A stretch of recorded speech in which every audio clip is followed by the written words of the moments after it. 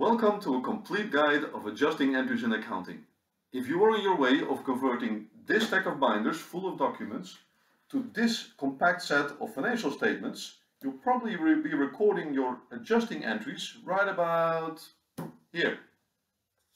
I'll walk you through each of the five types of adjusting entries in lots of detail. If you are adjusting, you need something to adjust from and something to adjust to. You are adjusting from a cash accounting based trial balance to an accrual accounting based trial balance.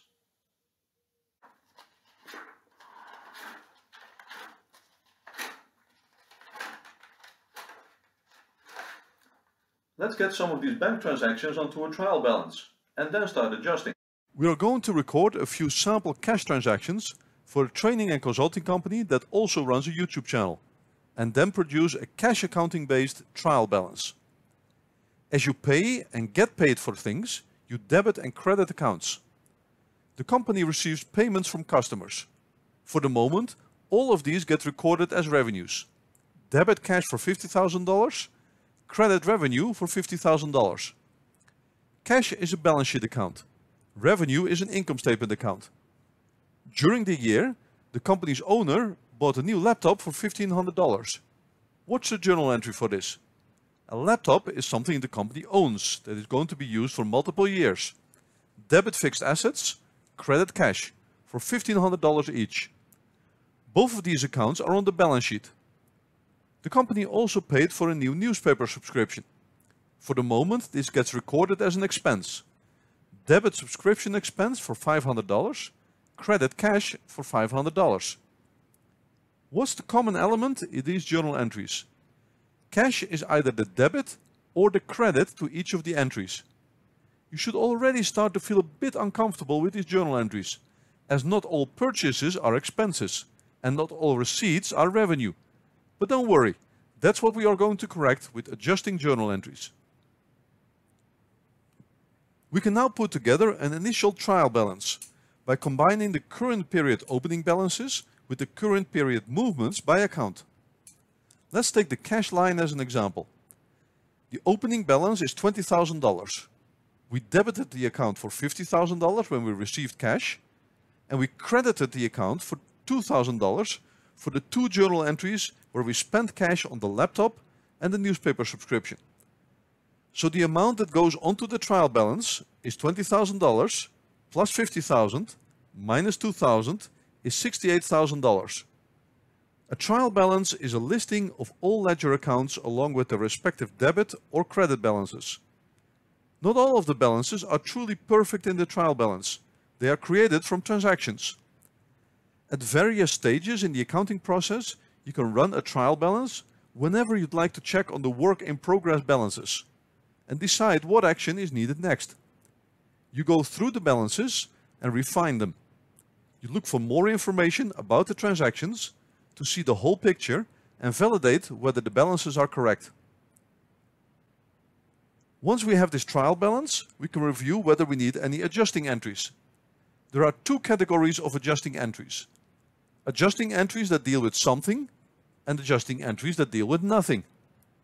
If an adjusting entry deals with something, then something has been entered in the general ledger but the amount needs to be moved or split between accounting periods.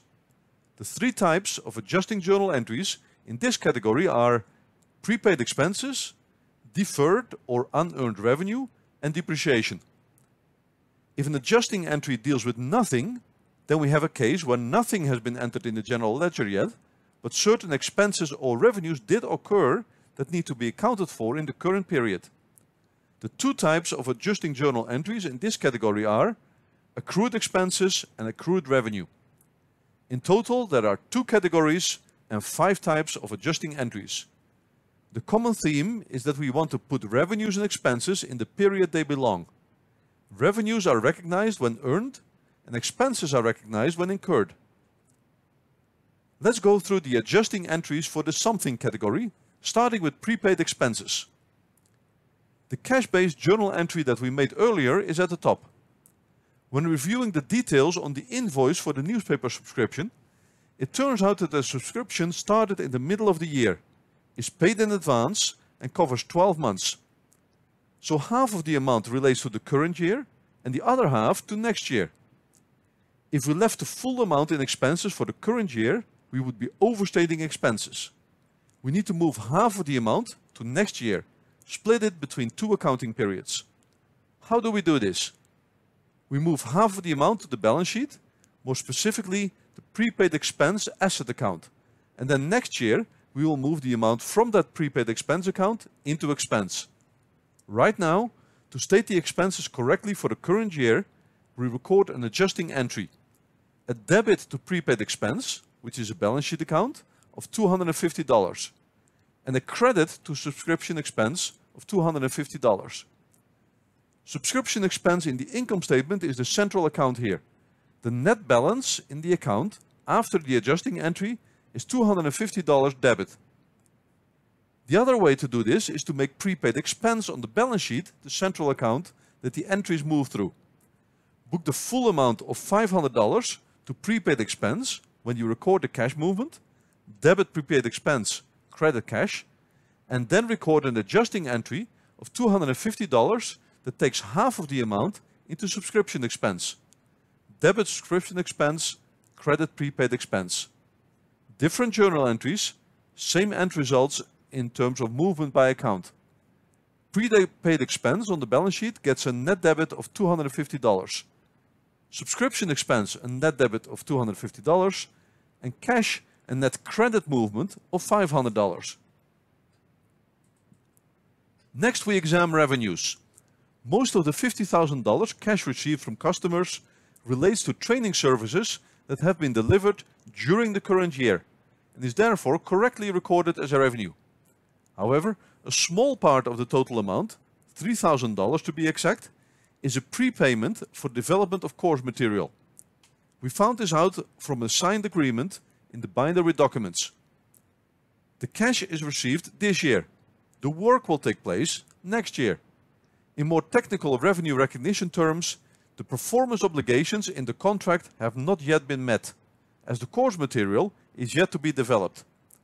This revenue need to, needs to be moved to next year, as we don't want to overstate current year revenue. Just like with prepaid expenses, we park it on the balance sheet and then next year move it into revenue. You could conceptually call this adjusting entry prepaid revenue, but the common name for it is deferred revenue or unearned revenue. Debit revenue in the income statement for $3,000, credit deferred revenue on the balance sheet for $3,000. Deferred revenue is a liability because if you fail to provide the services agreed in the contract in the future, you will have to pay the money back. The third type of adjusting entry is depreciation. This is a case where an amount needs to be split not just between two accounting periods, but multiple periods. Earlier on, we recorded the purchase of a laptop to fix assets. Depreciation allocates the amount paid for the fixed asset to current expense in those periods expected to benefit from the use of the asset. In the case of a laptop, the useful economic life is expected to be five years and no residual value is expected. Using straight line depreciation, $300 is allocated to the current year and the remaining $1,200 will have to be depreciated over the remaining four years. The journal entry is debit depreciation expense for $300 credit accumulated depreciation for $300. You don't record the credit directly to fixed assets, but to the contra account called accumulated depreciation.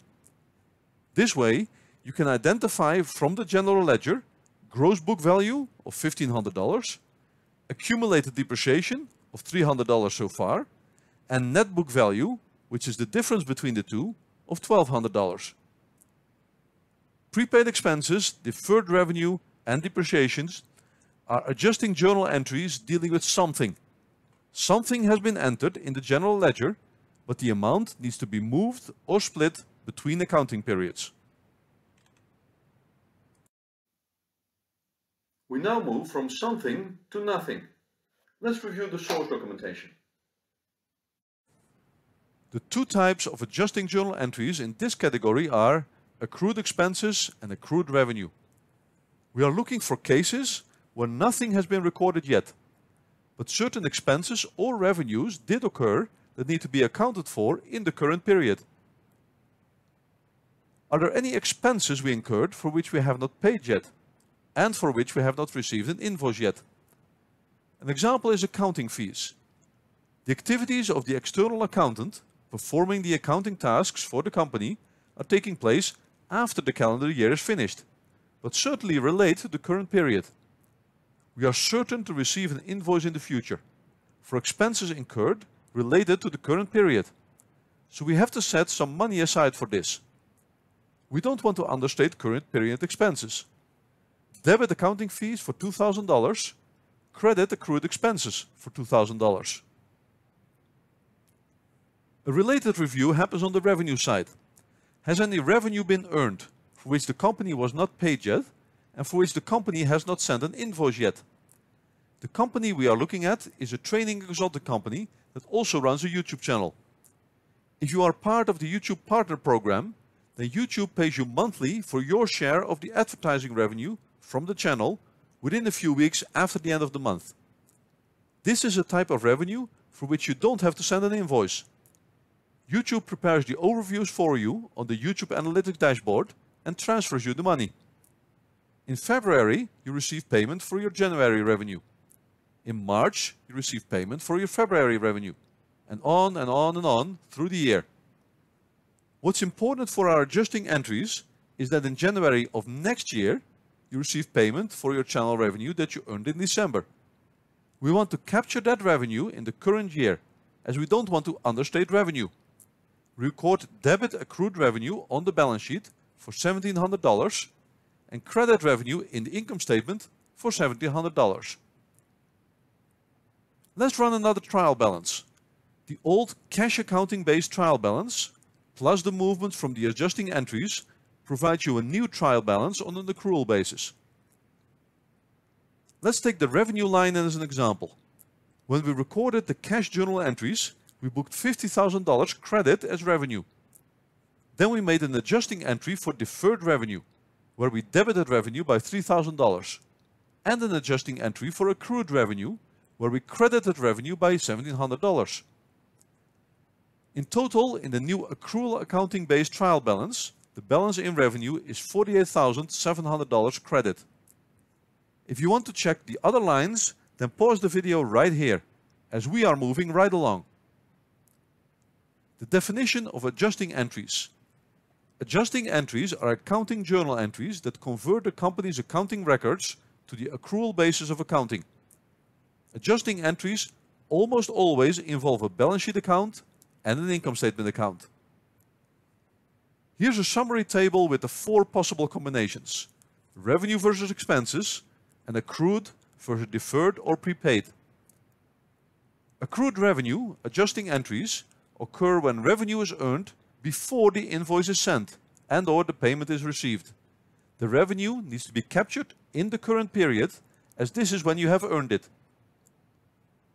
Deferred revenue adjusting entries occur when revenue is earned after the invoice is sent and or the payment is received. The recognition of the revenue needs to be postponed to a future period as you have not yet earned it. Accrued expense adjusting entries occur when expenses are incurred before the invoice is received and or payment is made. The expenses need to be captured in the current period as this is when you have incurred them. Prepaid expense and depreciation adjusting entries occur when expenses are incurred after the invoice is received and or payment is made. The expenses need to be moved or split between accounting periods.